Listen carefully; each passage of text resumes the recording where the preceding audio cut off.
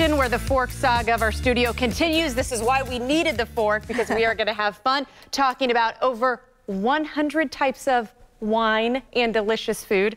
Did we get your attention? It is the annual signature fundraiser for the Florida Aquarium and joining me with a preview of what your taste buds can indulge in are the aquarium Sandra Morrison right here and Craig Spurza from Sacred Pepper. Welcome to the show. Thank How you. are Thank you? you so much. Thank you. I say I should say welcome back, but this is the first time this relationship has happened. Absolutely. And So- we're really happy to have Sacred Pepper on board. Oh, we're excited. This is the event. Let's give an idea of how many years we were talking about this and how popular it really is in the Tampa Bay area. Well, this will be the 18th annual Sea Grapes food or a wine and food um, event. Um, it's a signature fundraising event for the Florida Aquarium. I mean, you know, the money that we raise goes to our conservation and research um, efforts, and it just helps the aquarium just continue to do the great work that it does in the Tampa Bay area and also the whole state of Florida. And let's be honest, we all like to eat and drink a little bit. And of course, that's where you come in. We're getting spoiled here in studio as well. What are you going to be making? well, I'm going to make um, one of our signature items at Yeah? the restaurant. It's. It's our sacred meatballs. Um, Okay.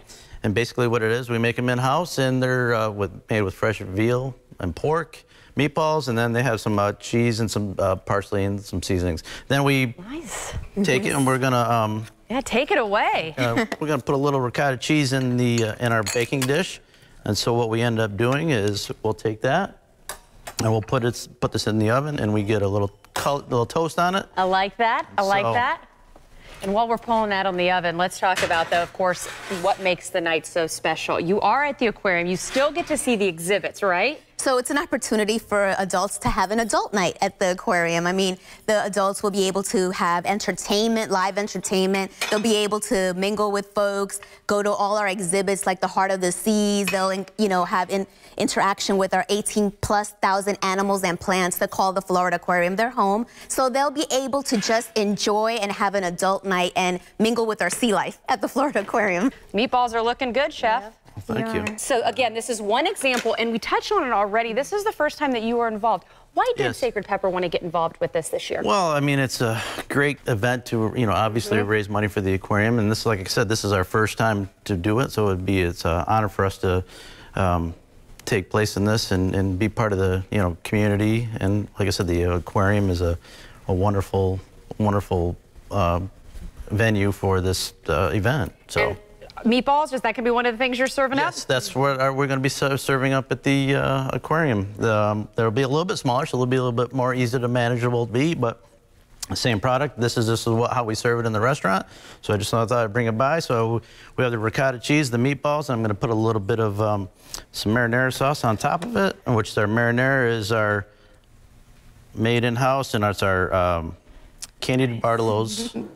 Is, is it her It's, recipe? it's her recipe, and when you come into the Uh-huh. restaurant, if you, when you make it to the Yes, restaurant, you go back in, and on the back wall, there's her recipe that's etched in a, a mirror back there. Yeah, so um, she uh, she you know wanted I to love wanted to see it. that. Yeah. I mean, I knew it was their restaurant, but I didn't know. Good job, Yep. Candy. I can't wait to uh, dive into these as we're uh, seeing. This is this the finished product? Well, I'm gonna finish it off right here. We're gonna put a little bit of ricotta gotta salt. Yeah, some make it more so much cheese it on gets there. more cheese because it wouldn't be, you know. No, no, absolutely not. So we'll put a little, grate a little bit of ricotta salata on top of there. Ooh. And while he's topping this off, we can't stress enough. We're seeing over 100 types of wine. How many restaurants are involved? Because people are not going to go away hungry. And just to reiterate what Craig said, we wouldn't be able to do this with all the partners. We wouldn't be able to do it with the 30 plus restaurant partners that we ha- have, the wines, you know, the wineries, and and also just everybody that's you know playing a part in this. I mean, this is presented by Amalie Motor Oil, and it just we wouldn't be able to do this signature event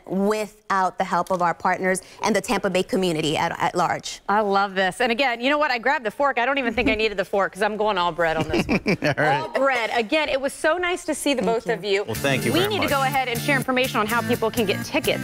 Of course, tickets are recommended and are needed, Yes, right? yes. Mm-hmm. Okay, well, again, we're going to share that information with you. In the meantime, I'm diving in. but you know what? We're talking about the food and wine. There also are some other stars to this show. Of course, we're talking about some of the sea creatures, including perhaps a penguin, Carly? Is that who you're over there with?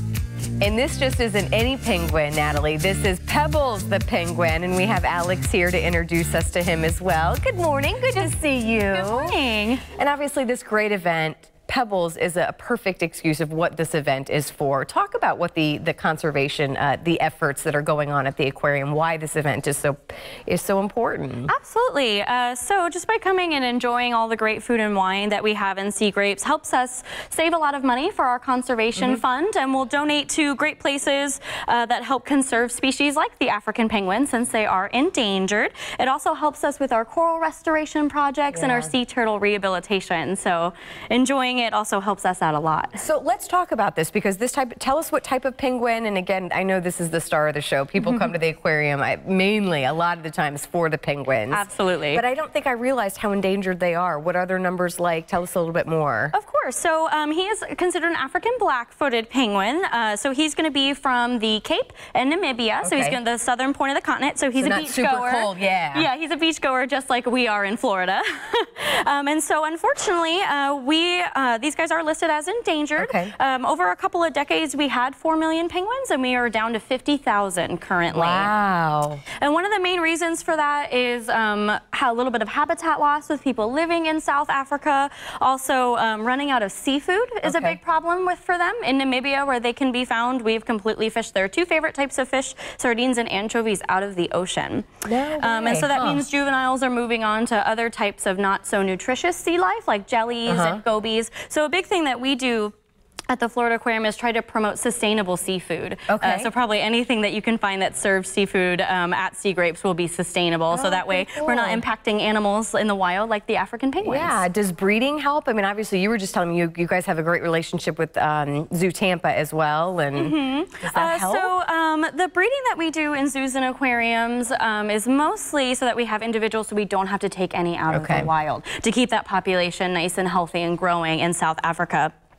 Uh, here at the aquarium, we donate to places like SANCCOB, which is a saving seabirds okay. um, area in South Africa, and they help raise baby penguins that might Aww. be abandoned by parents. They also help do rehabilitation of injured penguins, um, and they also help create nesting areas because of that habitat yeah. loss. So supporting the aquarium helps us support them. Oh, that's awesome. How long has Pebbles been with you guys? Uh, What's Pebbles, his kind of backstory? Pebbles was actually born at the um, Henry Doorly Zoo in Omaha, Nebraska. He's 12 years old, and now he's choosing to flirt, which okay. is nice. Oh, um, I like that, So buddy. he's actually our second oldest in our little colony back okay. at the Florida Aquarium. So if he's 15, how long do they typically live for? So um, in the wild, they usually live 12 to 15 years, but oh, in zoos and aquariums, they can live into their 30s and early oh, 40s. Oh, wow. Yes, so we're going to have Pebbles for many more years to come, which obviously he's very excited yeah. about. obviously, we're talking a lot about him and the penguins, but what are some of the uh, other animals that people can see, um, you know, on hand at this event? Um, at, on hand at the event, you're probably going to see our ring-tailed lemurs up okay. in our Journey to Madagascar area. Yes, they're absolutely wonderful animals. And then our North American river otters are mm -hmm. always super popular popular yeah. and they are pretty active and fun around at night.